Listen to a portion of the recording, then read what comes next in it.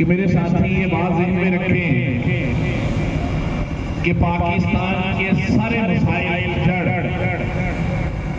एक ही है। वो ये है कि हम हम हम इंसानों को चौधरी बनाने की बजाय अगर रब को चौधरी बनाना शुरू कर दें तो सारे मसले हल हो। और इन्हीं रब का पैगाम है।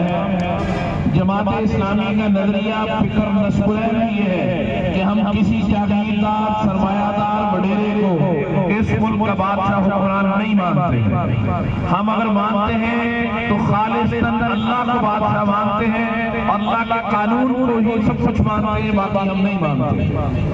आज हम इस बात से बेदारी का इजहार करते हैं कि हमारे मुल्क का हम किसी सूरत भी इस मुल्क के चोर और ठाक और बदमाश, ये नवाज़ शरीफ, ये जरदारी और इसके चेले, जिन्होंने पचहत्तर साल पाकिस्तान की इकोनॉमी को लूटा है, जिन्होंने पचहत्तर साल पाकिस्तान को दो लख करके बांग्लादेश बनाया है, जिन्होंने पाकिस्तान के आवाम के मुँह से खून निकाला है और निकाल के आज कोई गरीब आदमी इस काबल नहीं है तो वो बिजली का बिल दे सके, आसानी से अपने बच्चे पढ़ा सके, अपने बच्चों का किसी अच्छे हॉस्पिटल में इलाज करा सके। तो जमात इस्लामी का यही मशगुलैन है कि हम अगर इकतदार में आएँगे, इंशाल्लाह मदीने की रियासत तो मदीने की रियासत क्या है?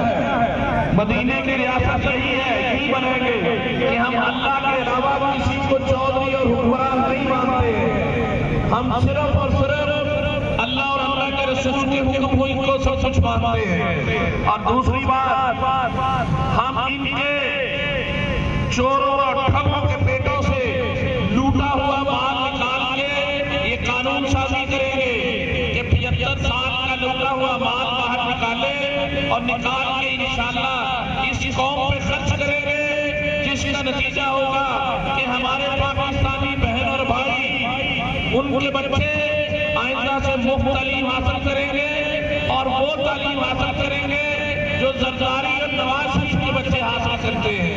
वो इलाज देंगे जो नवाज़ शरीफ और जरदारी के बच्चों को मिलता है। और इंशाल्लाह नजीर को इंसाफ देंगे, जिसके अंदर करप्शन का एक रुपया भी शामिल ना हो। मेरे दोस्तों और भाइयों, सिर्फ़ एक आपकी तवज्जो के लिए आप गौर कीजिए कि पाकिस्तान के अंदर आज भी जो है वो तरबेला डैम में नब्बे पैसे का यूनिट मंगला डैम में तीन रुपए का यूनिट बनता है। लेकिन आपको और मुझे साठ पाँच सत्तर रुपए का यूनिट मिलता है। उसकी क्या वजह है? उसकी एक ही वजह है कि पाकिस्तान के ऊपर डेढ़ सौ से दो सौ बिलियन डॉलर कर्जे हैं, जिनके पाँच हज़ार अरब रुपए के करीब सालाना आपको सूद देना पड़ता है। और बाकी जो बाईस से चौबीस अरब रुपया है, वो बापटा के सचलट देना पड़ता है, जिसमें पाकिस्तान का 95 परसेंट बजट खत्म हो जाता है। इसलिए ये टैक्स लगा के आपका खून चूसते हैं। एक रुपए वाली चीज़ आपको सत्तर रुपए की बेचते हैं। कौन सा ऐसा कारोबार है जिसमें एक रुपए वाली चीज़ दो या तीन को तो बिक सकती है?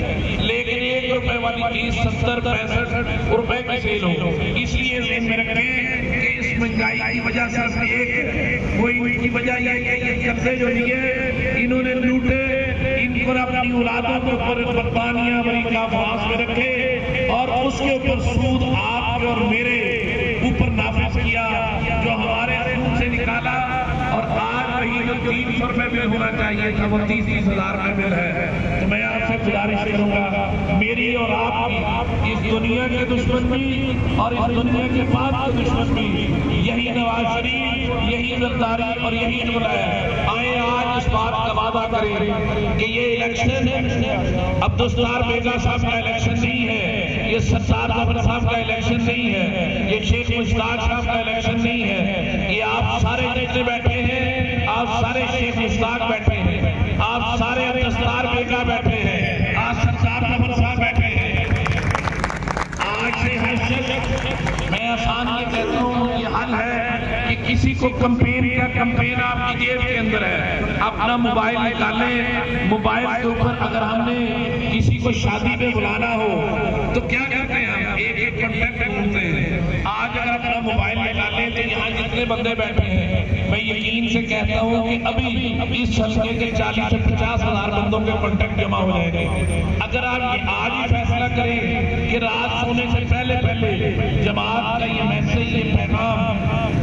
मंशूर आपने हर शख्स को रोज व्हाट्सएप करके सुना है। तो इंशाल्लाह मैं आपको यकीन से कहता हूँ, आठ फरवरी का दिन इंतकाम का दिन है, इलेक्शन का दिन नहीं, आपके बच्चों का रिस्क, इस कौम का रिस्क जो इन चोरों और ठगों ने पीना है, उनसे बदला लेने का तरीका यही है कि आप आठ फरवरी को ये सोच के निकले कि आज हमें बदला लेना है और आप एक एक को खुद लेके पोलिंग स्टेशन जाएँगे। तो इन शाह आपकी होगी। ममा